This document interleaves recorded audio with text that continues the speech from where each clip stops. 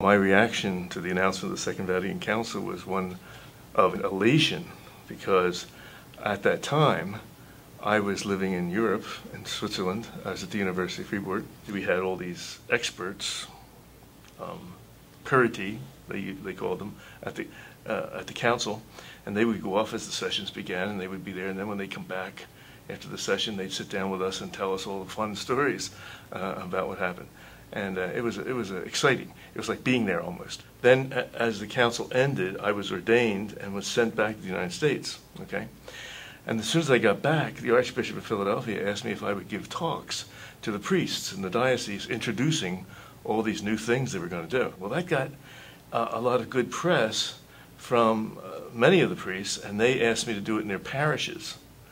And so I was overwhelmed by uh, the council as soon as I got back. And then I realized how it wasn't just me this was impacting. It wasn't just exciting for the clergy. It was mostly uh, invigorating to the laity. The laity were called to do all the ministerial things that were done before by priests and deacons and all that kind of stuff. Participation is what happened. All these people were able to participate in the liturgical actions and the ministerial actions of the church. Everybody can get involved in everything. It's fantastic. You go into a parish and it's it's electric. You know, our parish is just we have so many things going on that you realize that this really did uh, cause all of these people to be um, energized. Well, my favorite thing about the Vatican Council is the universal call to holiness. Um, it was something championed by Francis de Sales 400 years ago.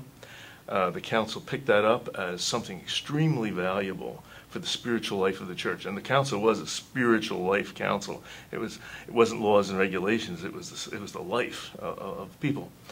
And uh, the fear I have at this time is that too much is going on accidentals and not enough on the essentials of the thing. So I think the challenge of the council is for the people uh, who really know about it, the theologians and priests and all, and, laity who have studied it, uh, to really uh, impress the real value of the council and make sure it gets it stays uh, on its track. And that's my greatest hope uh, that the, that the council will, its spirit will continue through the laity, mainly the laity.